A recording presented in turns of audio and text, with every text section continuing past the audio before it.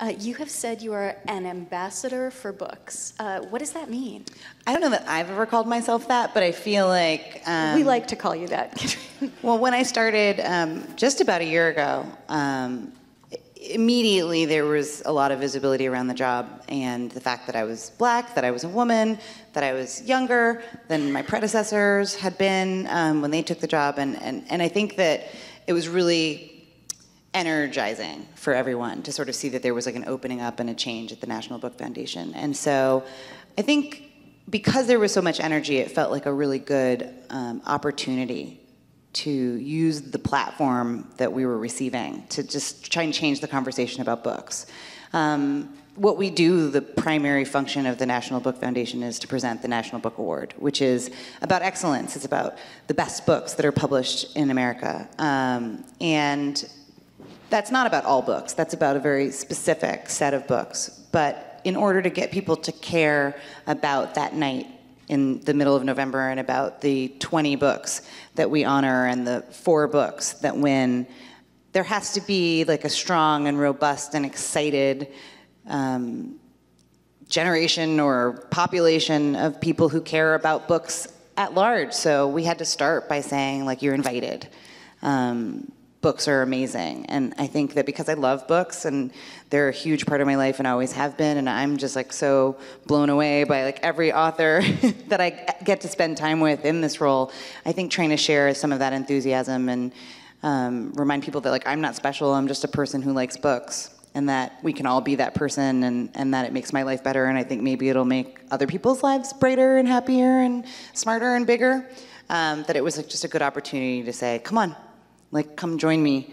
Um, and that I guess turns into ambassador for books. But I just believe in them. I don't think we're dying. I don't think it's bad. I think it's actually like a wonderful, thriving world full of writers and readers and booksellers and librarians, and, and we're doing just fine. And so I think saying that has been. Can you give me a sense of? Uh, it's February. What what has your year looked like so far?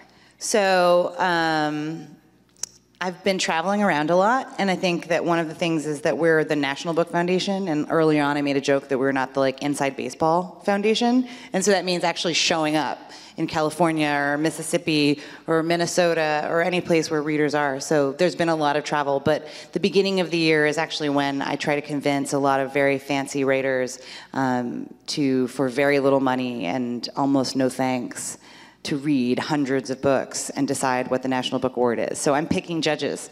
So um, Harold Augenbraum, who's my predecessor, called me the other day and he was like, Oh, so this is why I'm a tough person because every year all of my heroes look at me and tell me hell no when I ask them to be a judge for the National Book Award.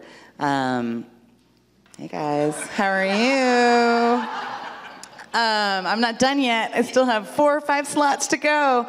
Um, so that's what is happening now. But I'm also thinking about the awards, and then we also do other stuff besides the National Book Awards. So we just announced a program where we're going to be giving away, thanks to several large publishers, 300,000 books. Um, and so we're getting ready to make that project happen and getting ready for the year. So there's just all kinds of like buildup. And our audit, that's my favorite part. I've been um, we, every year nonprofits get audited, and a person comes into your office, and you pay them a lot of money to come and harass you for a week, and ask you for like tiny pieces of paper that were surely lost. And so that's been a part of my 2017.